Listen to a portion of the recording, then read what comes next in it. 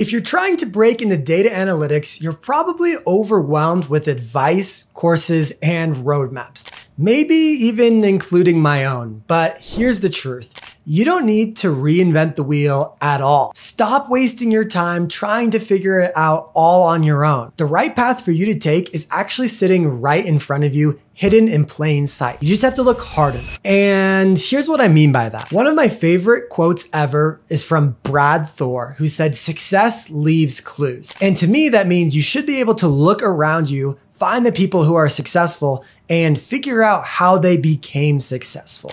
If there's anyone or any amount of success, there will be some sort of trail or clues that you can follow to recreate that success. With that in mind, I'd like to introduce a concept I created called career hacking. It's where you find the people who are already crushing it as data analysts, figure out exactly what they did to get there, and then you follow their exact path. Why? Because success leaves clues. Step one is to identify those who have already made it. Look for analysts who started where you are now and are now working at top companies or have landed their dream role. And get specific here. I'm telling you, the more specific you get, the better.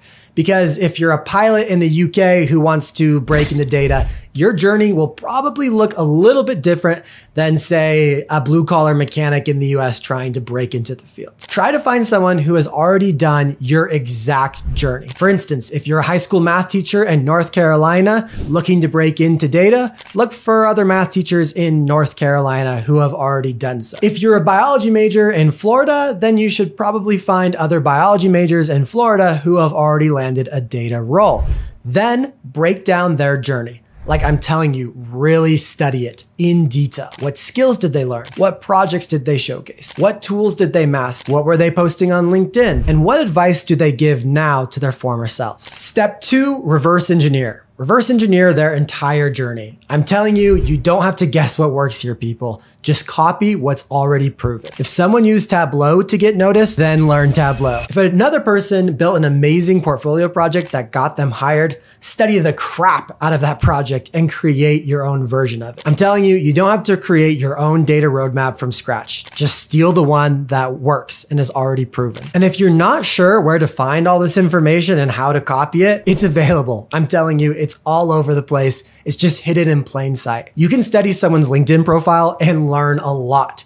You can see what their profile picture looks like. What bullets do they have in their experience section? What courses did they take? You can find that in the education section. You can study their portfolio or their GitHub because most of the time the code to recreate the project is right there or there's some sort of step-by-step instructions of how they actually built the project. It's all there for you for the take. Or if that's too hard, it's too much work, then just do one thing and press the subscribe button to this podcast because I share a case study of a non-technical person landing a data job every single month on this channel. In these longer episodes, I ask them exactly what they did, what they studied, where they worked before, who they messaged, what type of portfolio they made, so on and so forth. And you can watch these episodes and take notes to create your own roadmap. You guys, I'm seriously doing all the hard work for you. All you need to do is press subscribe because I've interviewed teachers, I've interviewed scientists, engineers, people from India, people from Canada, people from South America, people from Asia, literally anyone you could possibly think of, I have interviewed them and learned how they transitioned from what they did previously and how they landed their first data job. It's that easy. But remember, it's important to stay consistent because it's not about just making a plan, but you actually have to stick to it. Execution, day in, day out. It's boring, but you gotta do it. So stop overcomplicating things.